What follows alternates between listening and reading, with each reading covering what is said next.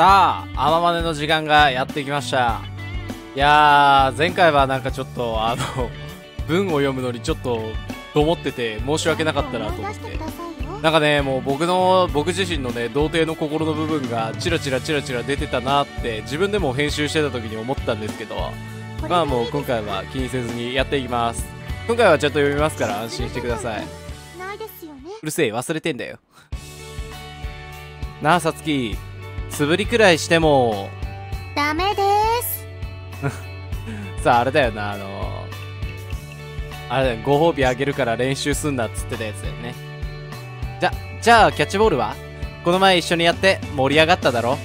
ダメです もう先輩さっきから落ち着きなさすぎですよこの際、学校来なきゃいいのに。何なんだ、こいつらは。今日は軽めの調整にしたいからストレッチが終わったら練習おしまいそう最初に決めたじゃないですかでも家でやれよ、もう。それはそうなんだけどさ。でもさ。子供っぽいとは分かりつつ、ついつい唇を尖らせてしまう。さつきの気持ちも理解できるとはいえ、試合前日ということもあって、練習欲はさっきから高まりっぱなし。今日は軽めの調整だけにしておく利点も頭では分かっているけど、どうも心がそれに追いつかない。そんなお預けされた子供みたいな反応しないでくださいよ。先輩への母性で胸がキュンキュンしちゃいます。母性って。なんかな。もちろん先輩のお願いは何でも叶えてあげたいですけどでもでも今日だけはダメです。明日は大事な試合なんですから。マネージャーとしてこれ以上の練習は許可できません。そらそうよな。ぐぬぬ。思いのほかさつきの意志は固いようで。なかなか首を縦に振らない。市場に流されない立派なマネージャー魂だとも思うけど。今この瞬間だけはその真面目さが恨めしい。そんな風に釈然としない気持ちを抱えながらさつきと目を合わせているとついに。わかりました。私の目の届かないところで勝手に練習されても困りますから。もう今日は家に泊めろじゃ。特別にもうちょっとだけ練習することを認めてあげますね。キャッチボールくらいならいいんじゃないですか。よっしゃー！ありがとうさつきなんか俺今言い方すっげえそれっぽいっていうかちゃんと言ってはいるんだけど。あれだよな。なんかちょっと声でかかったかもしれない。ごめんね。もう先輩ってば。急に近づいた俺にびっくりしつつもさつきは優しい微笑みで俺のわがままを受け入れてくれる。そんなに練習したかったんですか？もちろん。よーし。じゃあ早速トップです。先輩。今にも走り出そうとしていた俺の声をかけつつ。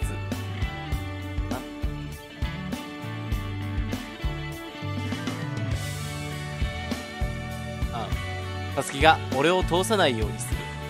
今日の俺に先輩を放っておくと絶対に練習しすぎてしまうと思います。なので今日は私も一緒に練習しますね。あえてか今日はあれじゃないの？あれ？なんか前回マネージャーっぽい格好してなかったっけ？私が一緒に練習あしていれば先輩は私に気を使って全力を出せませんよね。そうすれば先輩はオーバーワークをせずに済むというわけです。これから着替えんのかな？めんどくさそう。なるほどって言ってる確かにキャッチボールにしろトスバッティングにしろさつきに怪我をさせてはいけないと思うから全力は出せない。とはいえそれが残念ではないしむしろさつきとのコミュニケーションが取れて楽しいからむしろ望むところだったりする。じゃあ私運動しやすいように着替えてきますから。その間に勝手に練習したらダメですよ。わざわざ着替えんのか？めんどくさそう。ああ分かってるってさつきは軽く手を振ると更衣室に向かって歩いていく。俺はそれを見送った後さつきの言いつけを守るため一人でぼーっと彼女を待ち続けた。前回ここまでやってもよかったわ お待たせしました。切っていいタイミングが分かんないんだよこれでバッチリ先輩とトレーニングできますね。トップウォッチは置いていいと思います。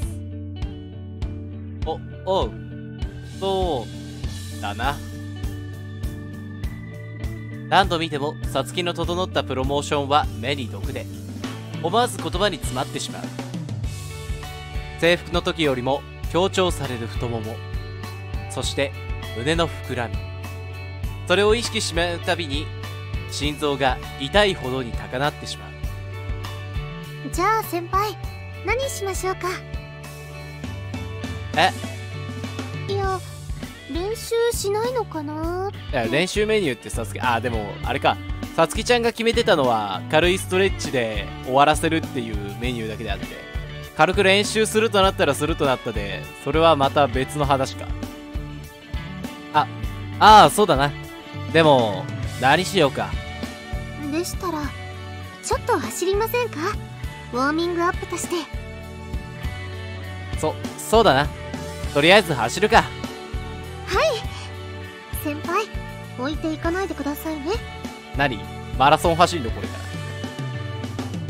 なあ友達にまあ持久走とかで一緒に走ろうなっつって置いてかれるやつだ俺置いてく方だったけど。大丈夫だよ。軽くしか走らないからほら行くぞ。てかまあ俺から誰かに一緒に走ろうなんて言った記憶がないわそもそも 待ってくださいよ。なんかさ持久走とかってさまあ俺の地域だけかもしれないけど基本土曜日とかじゃなかった？俺土曜日とかにそういうイベントがあったところで休むからさ。すいません僕ちょっと土曜日出勤はって言っちゃうから。クソガキって言われるかもしれないけど。これねマジあの小学校の時からそうであの月から金学校で嫌な時間を過ごしてなんで土曜日まで学校に行かなくちゃいけねえんだよ状態だったからまともに土日のイベントで参加してたのって俺あれくらいかな？運動会くらいかな？あと修学旅行とかし林間学校とか。修学旅行はあどうだったかな？覚えてないな。このままじっとしているとなんだか変なことを言ってしまいそうな気がして。それを隠すように俺は軽いジョギングペースでトラックを走り始めた。でもなんだかいいですね。揺れてます先輩ねと肩を並べて走るって。つか超キワッキワじゃない。こんな短いブルマないやろさすがに。何？さつきちゃん自分で切った？裾 なんだかすごく青春してる超って気がします先輩はどうですか？楽しいですか？いやこんな可愛い女の子とさ並走できるんだったらさもう楽しいに決まってるよな男だったら心ウッキウキよな。おおう楽しいぞ。ですよね。なんか一人で走るよ誠り一くんが徐々に徐々にタメ口っぽい。っていうかておしゃべりもできますし。なんか遠慮あるような喋り方じゃなくなったねさつきちゃんに対して。なんて言いつつさつきは早足で歩くぐらいのスペースで走り続ける。このぐらいのペースなら疲れもほとんどないし喋りながら走るにはちょうどいい。ただ問題はお前はどうしてすぐ胸に視線が行くんだよ。どうしました？わわ何な何が？なんだかいまいち走るのに集中していない気がしていいね。アップの顔かわい。いねもしかして私と走るの退屈ですか？違うよ。バカだから胸だけ見てんだよ。てか体目当てだから誠一くんは。また飛ばしちゃったっすって。なんつってた？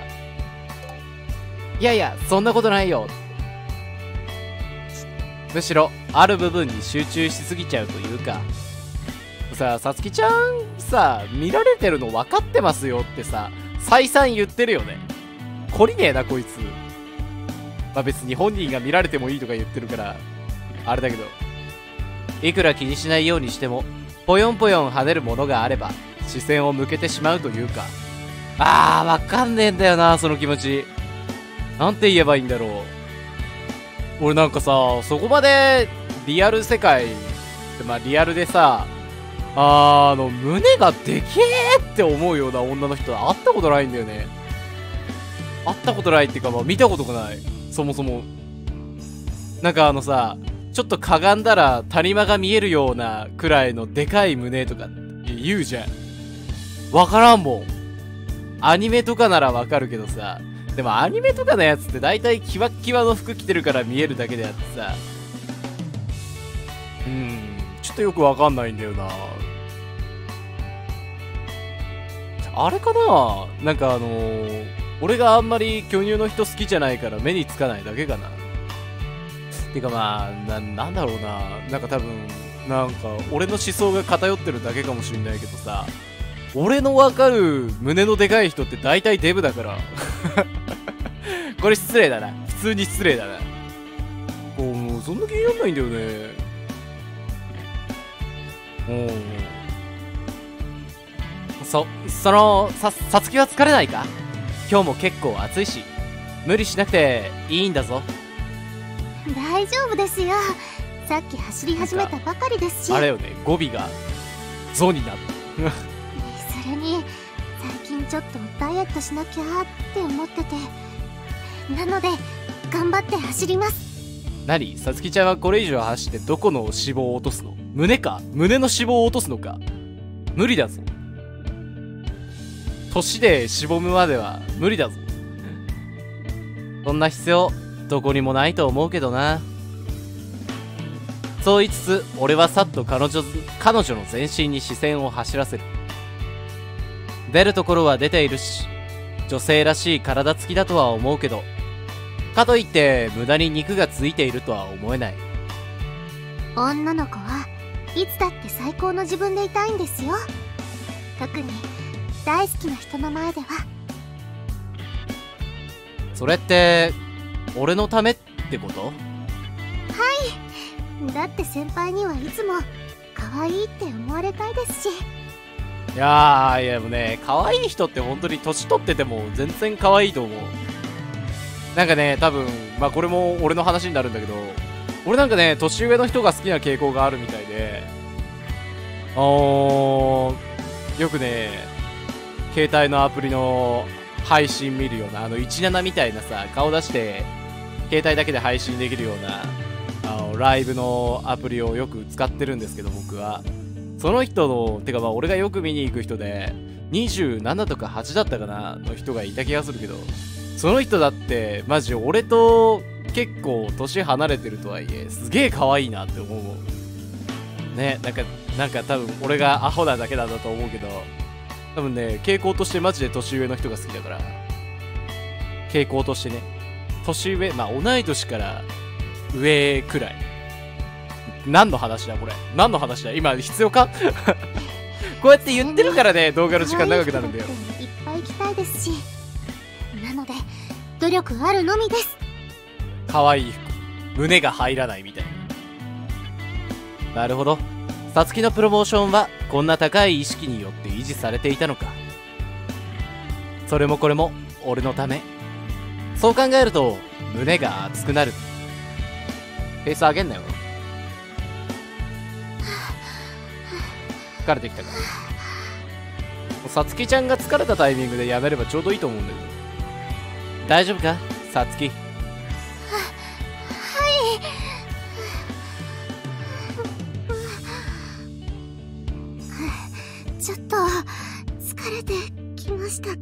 ど。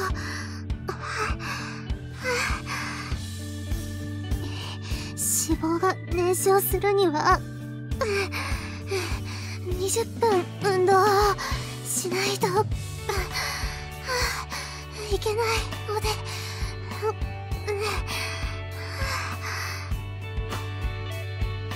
無理する必要はないと思うんだよな。もうちょっと頑張ります。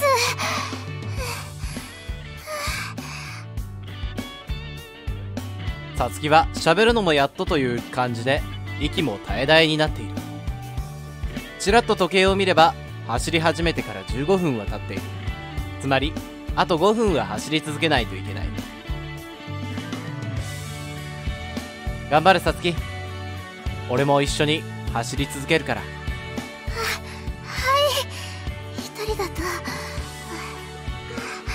もう諦めてますけど。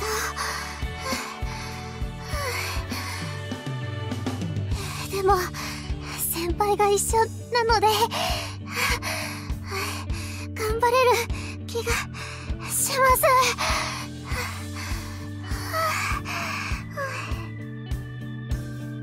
さつきの額には汗が浮かび頬も赤くなる。そんな彼女を彼女の純粋に応援したいと思う自分もいつつこれも5時かな。多分「の」じゃなくて「お」だよそんな彼女を純粋に応援したいと思う。もうやだやだやだ。もうこれあの よくないよくない。こういうゲームで荒探しはよくない。でも結構っていうかかなり色っぽいよな。真横から聞こえる荒い吐息。視界に入ってくる大きく揺れる揺れる胸。笑顔でも。ああ読み方合ってんのかなこれ。俺読み方わかんないんだよこれ。よくさ小説とかで書いてある例えのやつなんだけどさ。書いてあるっていうか文法としてあるやつなんだけどうん。多分合ってると思うけど。それを意識し,、ま、してしまって自然と体温が上がってきてしまう。いいんじゃね？それで疲れやすくなるやろ。先輩。おおう。どうした？ああと何分ですか？てかさつきちゃんストップウォッチは？あと5分は切ってるよ。わわかりました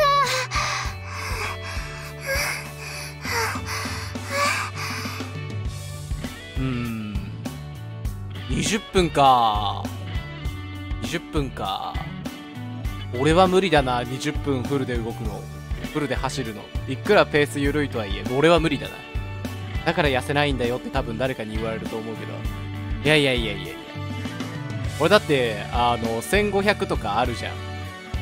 あれもさゆっくりやってさ適当なタイムでさやってさ手抜けばいいじゃんってみんな思うかもしれないけどあれ足動かすだけでしんどいからもう俺もう最初から飛ばしてずーっと最後まで飛ばし続けてさっさと終わらしちゃうもん。多分ねペース自体はどんどんどんどん落ちてってるんだと思うんだけど限界を超えて走り続けるからたまに帰って足つるんだよね。ああいうのやると。走りたくねーって思う首筋からも漏れる流れる汗はそのまま体操着を濡らしその様子を見ているだけでごくりと生唾を飲み込む。下着が透けるやん。あれでもささつきちゃんってさ下着白じゃなかったっけ？疲れてないですか？どこまで把握してんだお前っていう話なんだけどいやなんか多分ね確認すればわかるんだけどパート3とかのさサムネがさそんなんだったよね。ちょっと待って今確認してます。少々お待ちください。大丈夫だけどどうして？なんだか先輩も息が上がっているような気がして大丈夫やろ別に運動部やぞ、まあ別に軽いペースで走ってるから身体的に疲労自体は出ないだろうけど合ってましたいやてか多分しどうだろうなわかん。ねえただあん。だけ水かぶって下着が色で透けないってことは白でしょきっとそれは疲れじゃなくて。さつきが色っぽいからで。っていかんいかん。さつきは真剣に走ってるんだ。俺だって真面目にやらないと。ほらもうちょっとでゴールだよ。ラスト頑張ろう。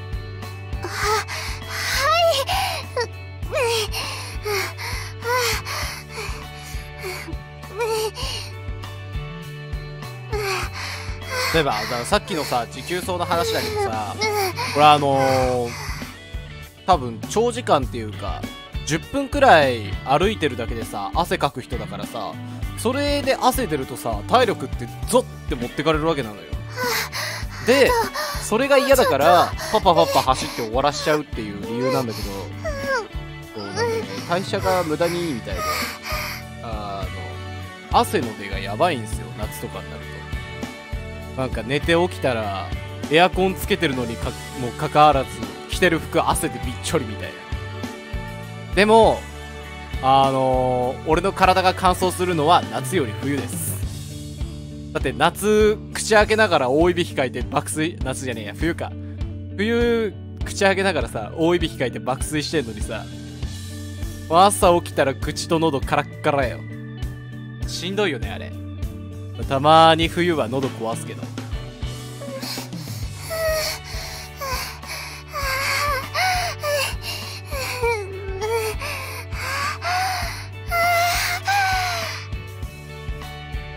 何の時間これ？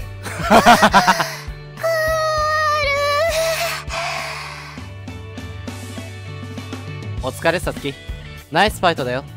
すぐ止まるとお腹痛くなっちゃうから少しクールダウンしようか。あーなんかあれだよね。あの走った後って軽くあの走ったとこもう一周歩いてきなって言われるよね。俺やんねえけど。だから足つるんだよっていう話で。違うんだ。あれやっても意味ないんだって。あったりあれやってもやらなくても俺は足つる派の人だから。普段どんだけ動いてないかがバレる瞬間だから。授業中足つらないかビクビクしながら授業を受けるの怖いよね。その持久走とか走った後にさ。あーしんどーって思いながら。さつきが大きな息をするたびに胸も柔らく弾む。柔らかく弾む。それを見ながら俺はごくりと生唾を飲み込んだ。何の話？マジで何の話？あでもキリ石ここでやめちゃいます。はいストップ。今日も練習お疲れわ様でした。あなんか超気になる。先輩。はいお疲れ様でした。はいということで今回はこの辺で終わりにさせていただきます。最近ね甘マネが短いと感じる方もいらっしゃるかもしれませんが実際短いのでご安心ください。あのー、ちょっともうまあ最近大丈夫になってきたんだけどなんか吹っ切れたというかさまあいろいろあって大丈夫になってきたんだけどあのー、まあなんか霧のいいタイミングで終わらせるっていうのがやっぱ大事だと思うので霧のいいこういうあの話が変わるタイミングでどんどんどんどんあのね更新していければいいと思うかな。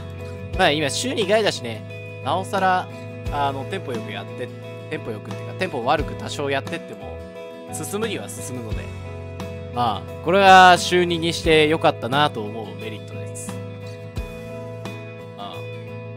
いや、まあ、俺のメリットだけどね。見てる人のメリットじゃなくて、俺のメリットだけど、まあ、それはね、俺がやってるだけでメリットだと思うんで。